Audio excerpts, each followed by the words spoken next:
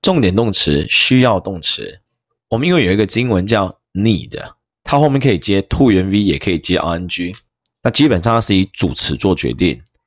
如果主词有能力，你就帮我写 to 元 v，通常主词是人呐。那如果你主词没有能力，我们通常后面要接的是 ing，我们的主词通常会是一个物。我们来看一下我们的题组吧。Number one，I need to study hard。我需要努力读书。我能够自己去读书，所以有能力写 to 元 v。Number two，I need to go to the toilet。我需要去上厕所，我自己有能力上厕所，所以一样我也写 to 元 v。第二组，Number one，the soup needs heating。这一碗汤需要加热，汤不会自己加热自己，所以你要写 ing。Number two，the plants need watering。这些植物需要浇水，植物没有办法自己帮自己浇水，没有能力，所以你也写 ing。那这个地方有一个同场加音，稍微帮我注意一下下。只要能够写成 ing 的，你也可以写成 to be 加 pp，也就代表你这里可以写 needs heating，你也可以写叫做 need to be heated，一样的道理哈。你这里可以写 need watering，你也可以写 need to be watered，这是一样的答案，这是一样的答案。OK，那继续往下，我们再来看到。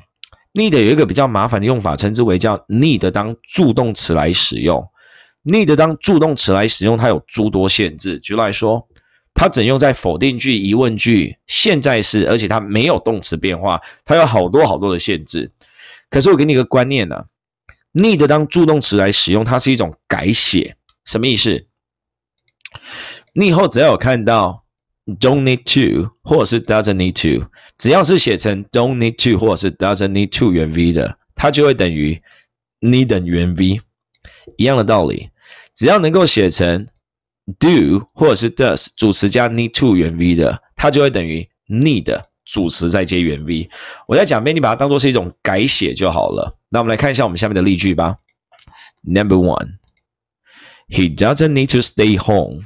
你也可以写成 needn't stay home。我来讲遍了，只要写成 doesn't need to 原 v 就等于 needn't 加原 v 一样道理。第二题，Number two，Does he need to stay home？你也可以写成 Need he stay home？这是一样的答案。你就记得哈，这只是一个改写，这只是一个改写。所以基本上，如果我有考到 need 当助动词用，你就把这两个改写方式给记起来，基本上就不会有任何问题了。